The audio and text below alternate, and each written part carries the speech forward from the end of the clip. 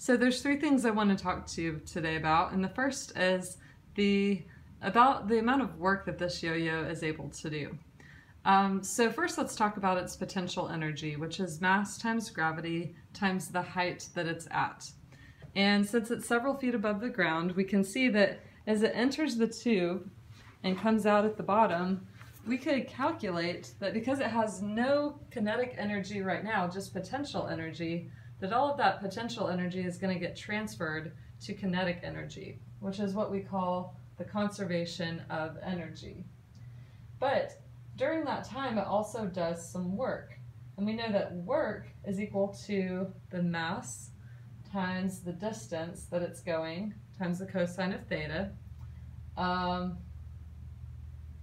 uh, so it's the force times the distance times the cosine of theta. Sorry, not the mass.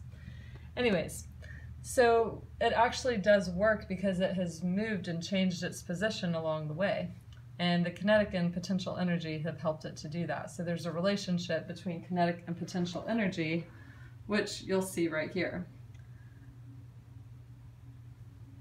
Now, momentum, we will see really well in the dominoes because the momentum is calculated by the mass times the velocity.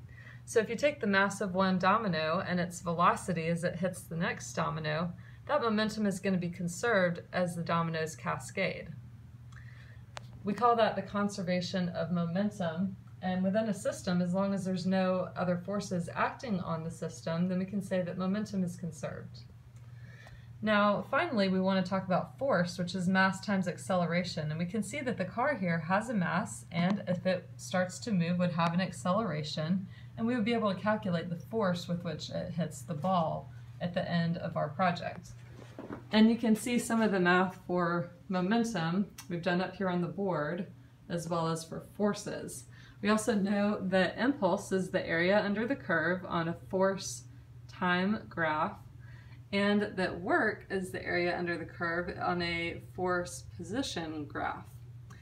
So these are some ideas that we want to keep in mind as we're looking at the different forces in our system.